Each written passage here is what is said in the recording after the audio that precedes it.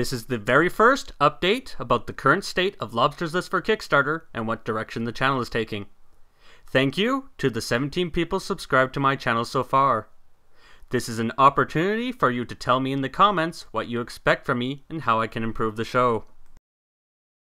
For regular users of Kickstarter, I want this series to be in an easy to consume format that someone can find in their subscription feed in the morning and watch while eating breakfast. If I am doing my job right, then you should be aware of the major video game projects that have launched on Kickstarter recently and maybe be introduced to projects you otherwise would not have known about.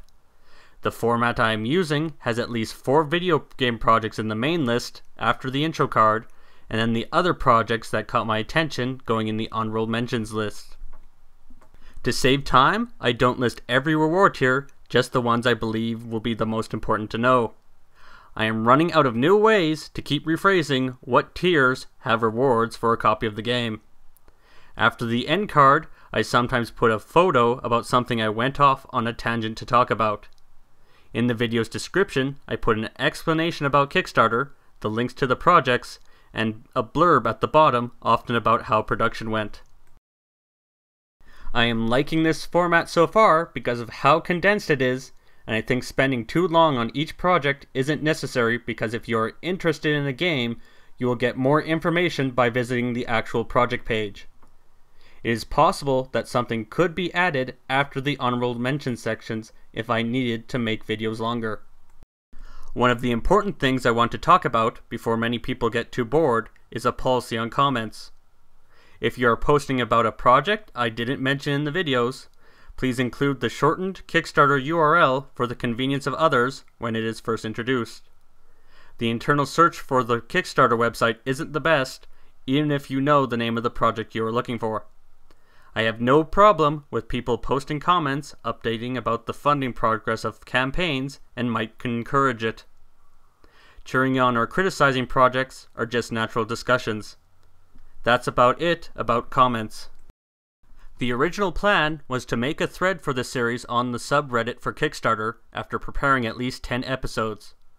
Just taking a first episode to Reddit would likely have it downvoted into oblivion and it is better to present the channel when it is more polished. That plan was derailed by production problems that hurt the quality of episodes that I am making progress resolving.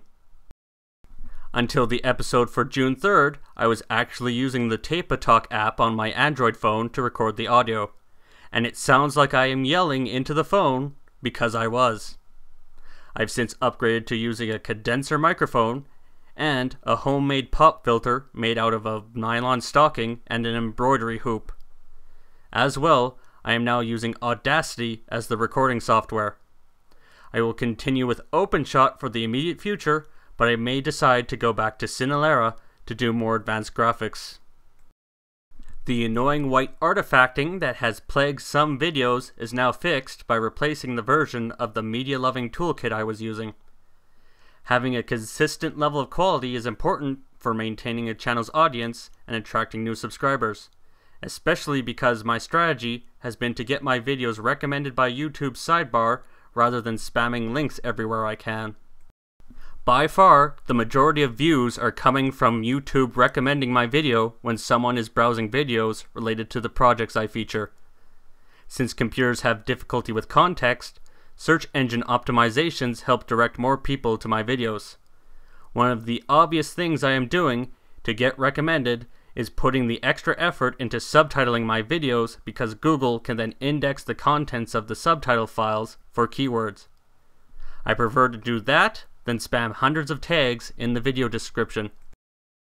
When I am fortunate enough to have a project creator post a link to one of my videos on their Kickstarter project page, like Project Slugger, Skylantis, and Echoes of Aeons did, Google's search algorithm notices and then more strongly associates my video with that project when someone searches about it. One way I can get creators to feature my videos is to be a very early supporter and try to help out with advice based on my experience with the site. Now about moving forward. One of the biggest changes I want to make to the channel is much more recordings of game demos and to start doing impression videos for the games I am getting through Kickstarter rewards. That would allow me to cover the life of a kickstarted video game from campaign launch to the final game. The first problem is that the graphics card on my laptop that I'm using to make these videos is just a mobile ATI Radeon HD 4250. It is fine for these videos if I just leave it alone while rendering, but for intense 3D games there won't be good enough frame rates even before screen capture software is engaged.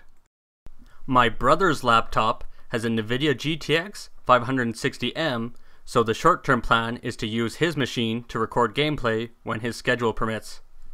Another obstacle is I haven't set up a means to do live commentary alongside gameplay before, so the first episodes of that impression series would probably be scripted.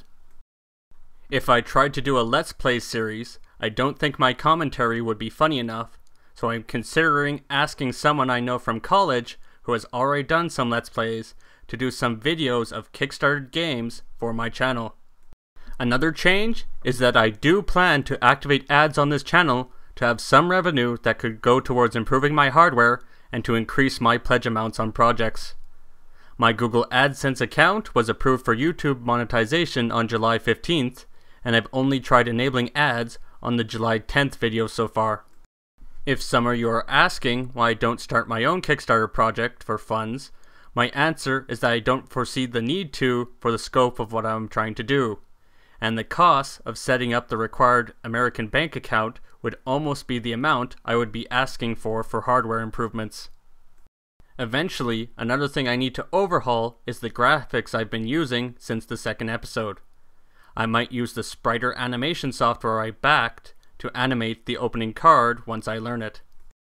The last point I want to cover is that I plan to do the grand launch for this channel with an episode adapting a free ebook I've been writing since before the first episode for project creators in the video games category.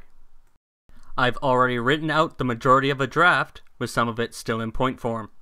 What needs to be done is mostly very time consuming editing. Since it has less priority than making new Lobsters List for Kickstarter episodes, it will probably be finished at the end of August at its current pace. I might take it to Reddit, but I'm no longer sure which subreddit. The R Game Dev one might be a better choice than R Kickstarter, so I might message one of the moderators there first. The graphics for the video have also begun to be drawn up.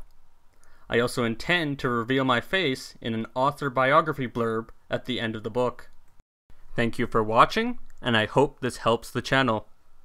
This week has been too slow to do a Lobster's List episode, so check out a 2.5D Dungeon Explorer, Wicked Crush, and the stop motion animation project Anomalisa.